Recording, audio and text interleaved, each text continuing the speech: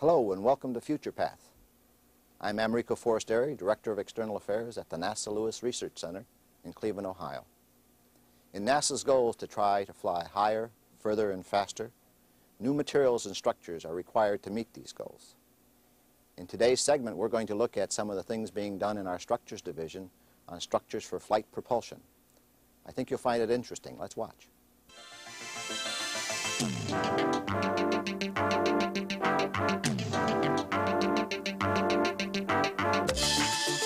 Flight, in the air or in space, requires propulsion systems able to withstand extremes of mechanical stress, vibration, and temperatures. Designing these structures and matching available materials to the job has always been a complicated business and is becoming more so. Requiring safety and reliability from structures needing minimum maintenance having the least possible weight poses a basic contradiction which can be resolved only by the most sophisticated analytic methods. The Lewis Research Structures Division is dedicated to advancing the state-of-the-art of structures technology for aeronautical, space, and terrestrial applications.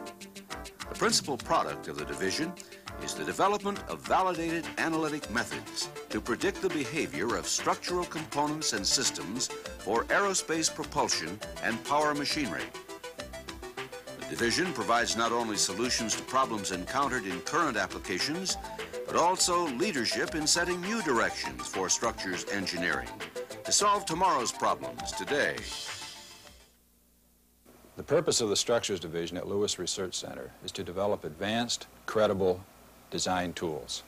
These tools can then be used by designers to design advanced concepts for future missions, both in aeronautics and in space. We develop these methods for use on high-speed computers, and they are validated with the state-of-the-art laboratory equipment. We can predict the life, that is the number of missions that can be flown by the advanced concept, and we can optimize the design, both from the point of view of minimum weight or from the point of view of lowest cost. Breakthroughs in flight usually follow developments in propulsion systems.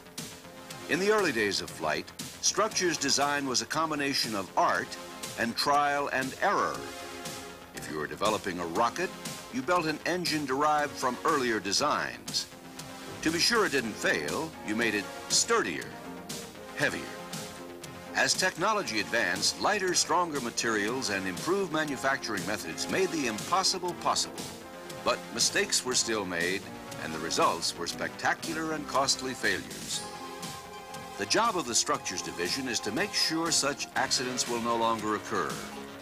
They do this by applying the latest scientific analysis possible and by using the most up-to-date testing equipment and methods available.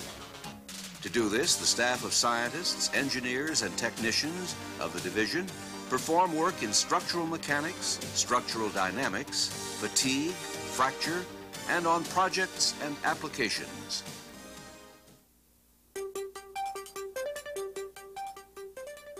Some of the work in structural mechanics includes characterizing the properties of metals used in propulsion systems.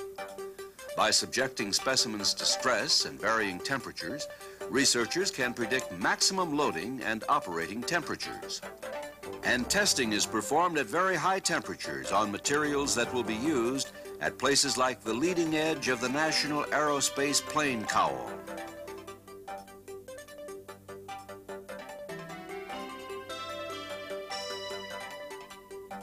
The work in structural dynamics focuses on the forces affecting bodies in motion.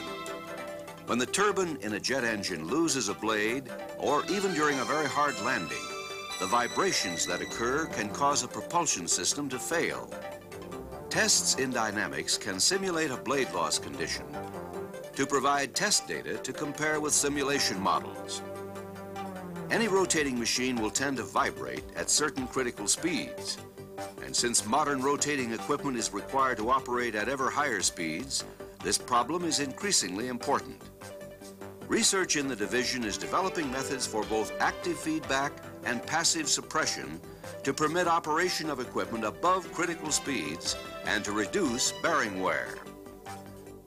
High-speed computer simulation is required for the full dynamic analysis of rotating machinery.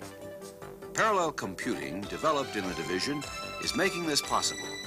By combining a large number of processors in one transputer, computations can be performed rapidly enough to study high-speed vibrations of rotating components.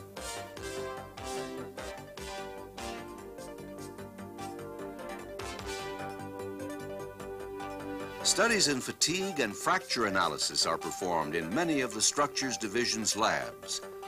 Both destructive and non-destructive methods are used to evaluate and characterize new materials.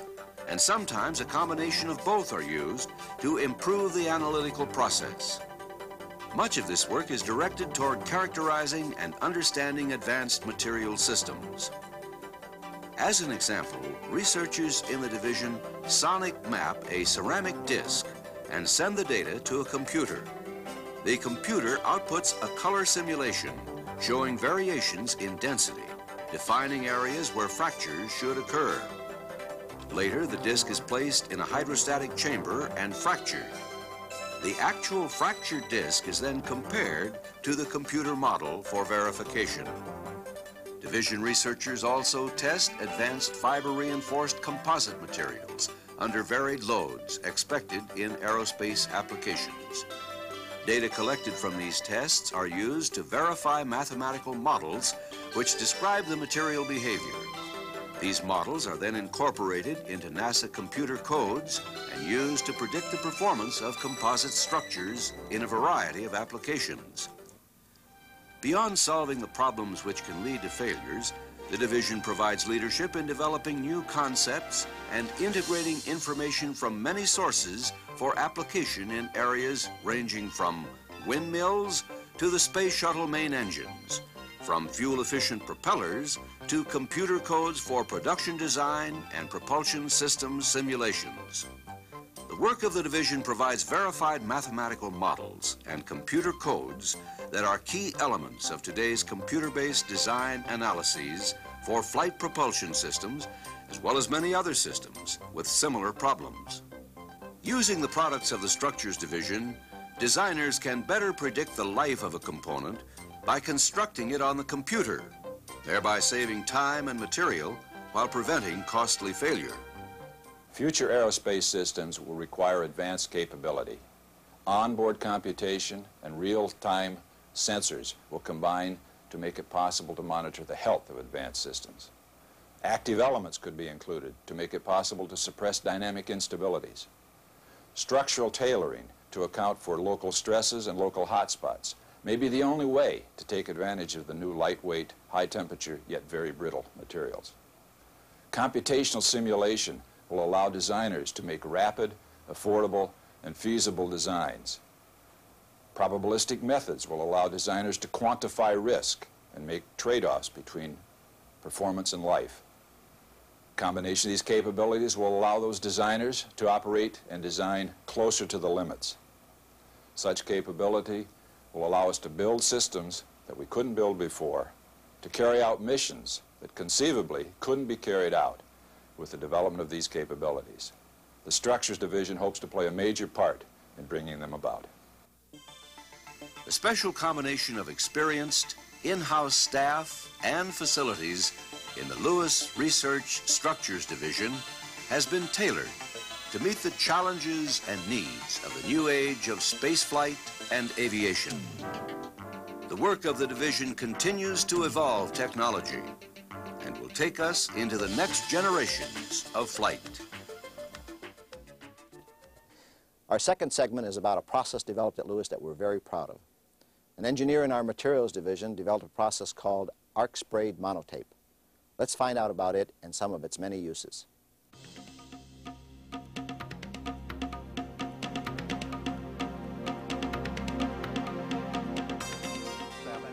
Unfazed by extreme fire-hot temperatures, possessing amazing strength, a strength beyond belief.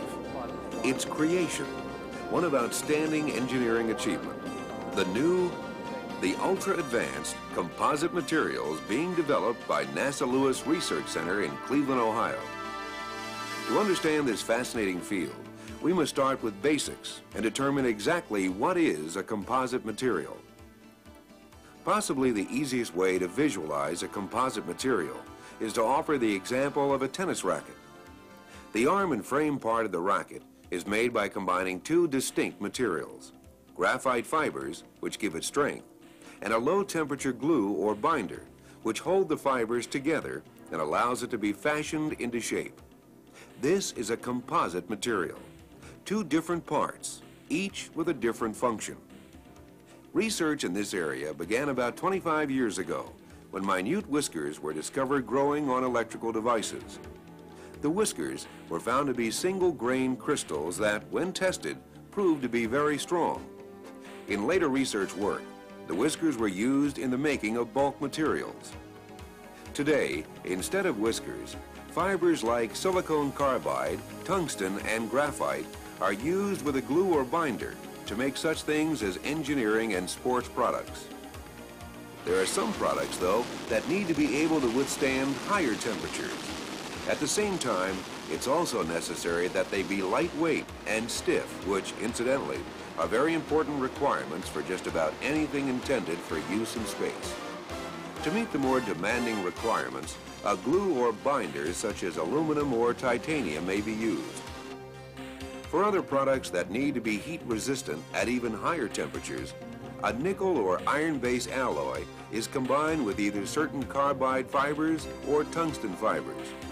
There are several ways to do this, and one of them is the arc spray process. This method was developed right here at NASA by one of our engineers, Leonard Westfall. He works in the Advanced Metallics branch of NASA's Materials Division. Recently, Mr. Westfall described exactly how the arc process works. The process works like this. We have uh, an arc spray gun which is attached to a large vacuum chamber. Uh, inside the vacuum chamber is a drum that has our uh, real strong fibers wound on the surface at a very regular spacing. The arc spray gun works by uh, having two metal wires coming into the gun and an electric arc is struck between the tips of the wires. The electric arc has sufficient intensity to cause the wire tips to melt. A high pressure stream of neutral gas, and we usually use argon, very clean argon, is sprayed on this molten, on the molten wire tips, causing the molten metal to dislodge from the, from the wires and to be uh, uh, vaporized into very, very fine particles and sprayed. And we aim it right on this drum surface. The, the thin sheet that's formed can be as big as the drum surface. The thin sheet Mr. Westfall was talking about is called a monotape. It comes off the drum very easily because a Teflon spray is applied first. The spray allows the material to get hard and yet not stick to the drum. It simply peels off. Composite monotapes are used to make composite shapes, which are rather complex structures requiring extremely high strength. In order to make the structure as strong as possible, the monotapes must be positioned in certain directions. To do this, the monotape is cut into small pieces and stacked one on top of the other. On the first piece, all fibers are placed in one direction. On the next piece, the fibers are put in the opposite direction of those on the first piece. This alternation of the fiber's direction is continued on the pieces in order to maximize the structure's strength in different directions. The small pieces of composite monotape usually are glued together by a method called hot pressing. Very heavy pressure is applied to the stack while it is subjected to a temperature of almost 2,000 degrees Fahrenheit. As the metal gets squeezed together, any small imperfections in the monotape disappear and the metal pieces blend together, resulting in a perfectly solid plate. Cut into thin strips, the plates are used extensively at NASA for testing purposes. Engineers have been able to make large tubes by using a pressing guide to shape it. They have made demonstration turbine blades for jet engines. These blades are located very close to the place where air mixed with fuel is burned. As combustion takes place, the expanding gases hit the blade, causing it to turn. It's easy to see why the blades must be able to withstand extremely high temperatures. Presently, there are five NASA programs in which arc spray monotape plays a major role. Two programs deal specifically with the Space Shuttle's main engine. Since the material now used to make the main engine is cracking due to thermoshock, NASA is working with tungsten reinforced superalloys to replace it. These composites, in tests so far, have proven to be more shock resistant, stronger, and able to withstand higher temperatures than the present material. The second program deals with the reinforcement of a combustion liner in the space shuttle. Mr. Westfall explains. A combustion liner is a, a contoured shape that um, uh, is hydro liquid hydrogen cooled, and it's the vessel that the uh, liquid oxygen and liquid hydrogen uh, burn in. And you have very, very high temperatures inside this uh, combustion liner, and typically it's made out of copper or a strong copper alloy. The problem this combustion liner is experiencing is the copper alloy is uh, deforming due to uh, the very high temperatures and the stresses that are generated in the thin inner wall, causing the inner wall to deform and actually crack, and the liquid hydrogen is leaking out. We are putting tungsten fibers in the inside layer of the combustion liner to strengthen, to selectively strengthen the inner wall of the combustion liner. This is an example of one of the test specimens that we make. And we have tungsten fibers reinforcing the inside surface of this specimen. All right, this specimen then will be tested in a rocket test chamber under conditions very, very similar to the Space Shuttle main engine. And the material will be tested to, to failure. Um, we predict a much uh, longer life with our tungsten reinforced copper than the current uh, copper alloy that's being flown in the Space Shuttle today. Also regarding space, the third program has to do with the creation and development of very strong tubes to hold liquid metals and heat pipes for nuclear reactors. Because of the tremendous pressure the tubes will have to withstand, a new material is needed that is much stronger than the one now used. Using the composite process, engineers are adding tungsten fibers to the present material to strengthen it. And again, in support of space power, the next program is working to develop a specific container that will be able to take high temperatures and amounts of pressure which the current container cannot. In this case, the power being generated would be for a space station. The composite material that has been developed is three to four times stronger than the present one, surpassing the program's goal of finding a substitute container for present temperature and pressure levels. The engineers at NASA have created one that can be used as power demands go up in the future. The final program developing composite materials for use in space deals with the improvement of radiators Again, NASA engineer Leonard Westfall explains. These tubes I talked about before have radiator panels hooked on uh, on the back of them to get rid of the heat. All right. We're developing uh, fiber reinforced radiator panels that are made out of graphite fibers that have very, very high thermal conductivities. And thermal conductivity is the material's ability to conduct heat very quickly. All right, these fibers conduct heat extremely fast, and we put them in, in copper as a, a, a high temperature glue.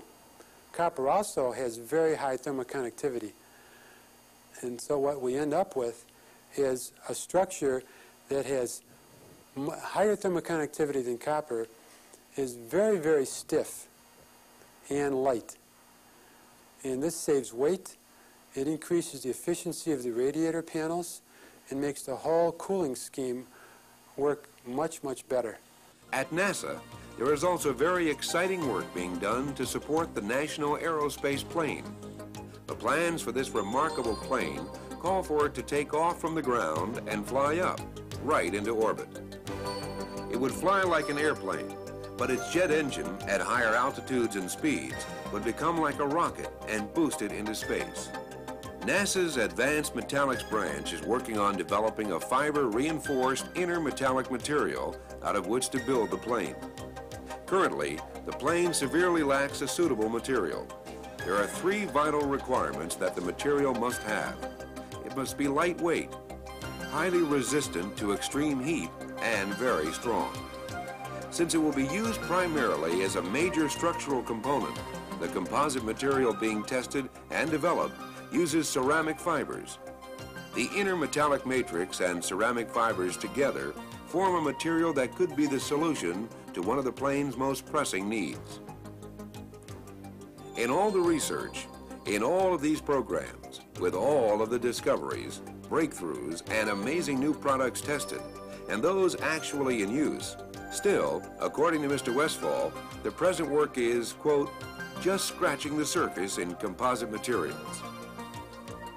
Besides the fibers in existence today, there are many, many others with great potential that need to be developed and tested. NASA's goal? To develop even stronger fibers that can work at even higher temperatures. Some of the structures NASA has been working on will be used for the National Aerospace Plane, or commonly known as NASP. NASP, when it is built, will have the unique capability of taking off from any airport and fly directly into space. Let's learn more about NASP.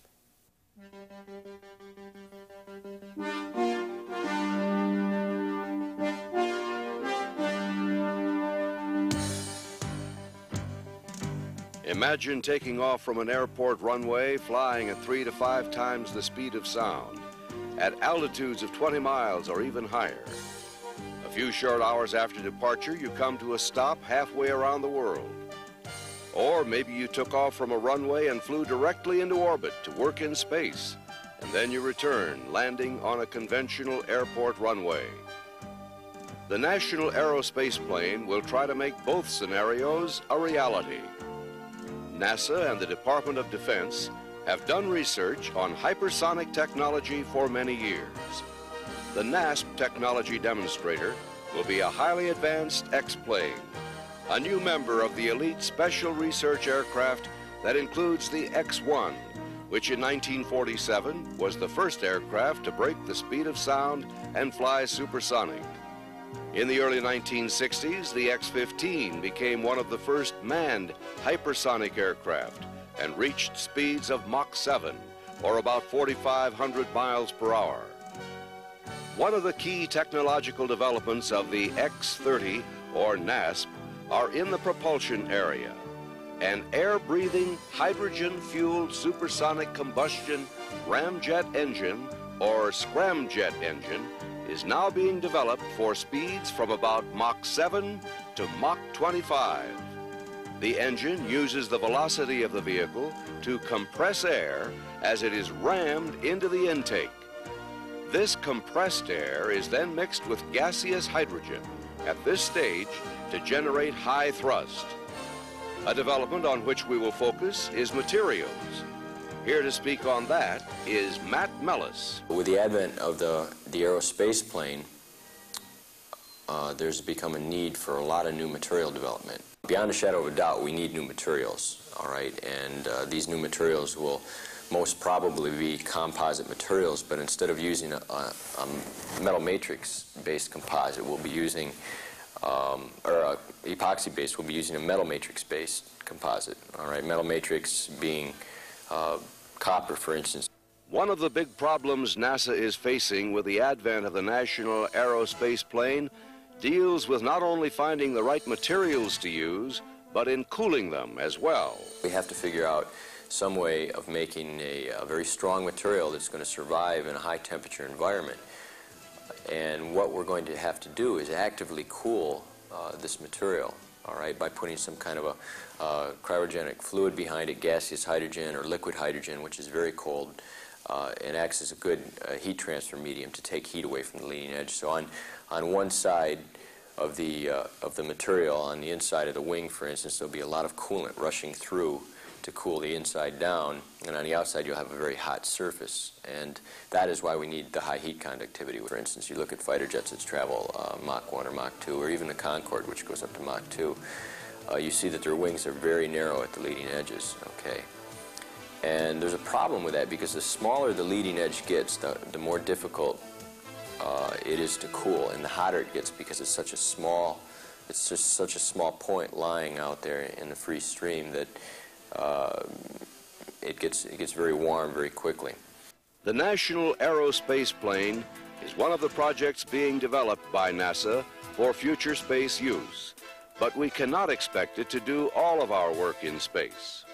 The National Aerospace Plane being something that will um, possibly be able to uh, supplement uh, the shuttle fleet or, or maybe even replace it. But uh, obviously, um, if you have a, an airplane that can take off from a runway and go to orbit with a, um, some people in it and go to the space station, for instance, or something like that, uh, obviously it would, it would be capable of, of shuttle-type operations.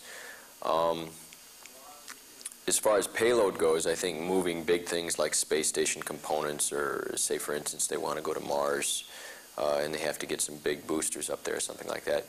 I don't see the National Aerospace Plane taking that kind of payload up there. The National Aerospace Plane is expected to yield a high payoff for the United States in the early 21st century with reduced space launch costs, vastly reduced transit time on long-haul air routes, major investments by private enterprise in commercial space ventures, and sustained U.S. preeminence in aeronautics with all of the social and economic benefits that accompany it.